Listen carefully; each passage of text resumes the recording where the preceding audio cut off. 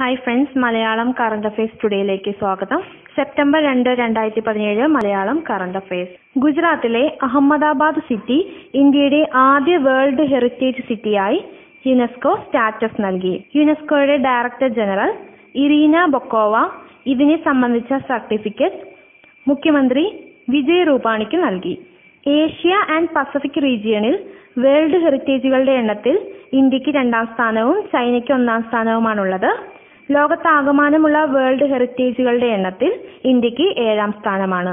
ലോകത്തിലെ ഏറ്റവും ഉയരമുള്ള മണൽ കൊട്ടാരം ജർമ്മൻ നഗരമായ ഡ്യൂസ്ബർഗിൽ നിർമ്മിച്ചു.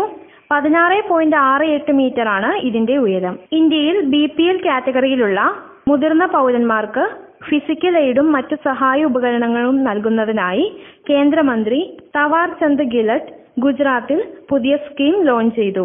വയോജനങ്ങൾക്കായുള്ള കേന്ദ്ര സർക്കാർ സ്കീമാണ്. രാഷ്ട്രീയ വയോശ്രീ യോജന.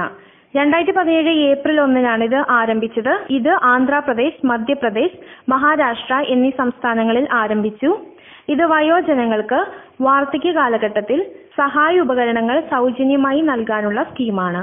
നരേന്ദ്രമോദി രണ്ട് ദിവസങ്ങളിലായി രണ്ട് രാജ്യങ്ങൾ സന്ദർശിക്കുന്നു. ചൈനയും മ്യാൻമറുമാണ് സന്ദർശിക്കുന്നത്. ഒമ്പതാമത് ബ്രിക്സ് സബ്മിറ്റ് നടക്കുന്നത് ചൈനയിലാണ്. എട്ടാമത് ബ്രിക്സ് സബ്മിറ്റ് നടന്നത് ഒക്ടോബർ പതിനാറ് രണ്ടായിരത്തി പതിനാറ് ഗോവയിലായിരുന്നു.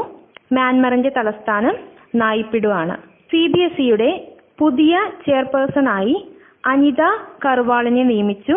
സി ബി എസ് ഇയുടെ മുൻ ചെയർപേഴ്സൺ ആർ കെ ചൗധരി ആയിരുന്നു. ഇന്ത്യയിലേക്കുള്ള യു എസ് അംബാസഡറായി കെന്നത്ത് ഐ ജസ്റ്ററിനെ നോമിനേറ്റ് ചെയ്തു. സ്വീഡിഷ് ഡിഫൻസ് കമ്പനിയായ സാബും ഇന്ത്യയിലെ അദാനി ഗ്രൂപ്പും ഡിഫൻസ് മാനുഫാക്ചറിംഗ് സഹകരണത്തിൽ ഒപ്പുവച്ചു. പ്രധാനമായും ഗ്രിപ്പൺ ഇ ഫൈറ്റർ ആണ് നിർമ്മിക്കുന്നത്.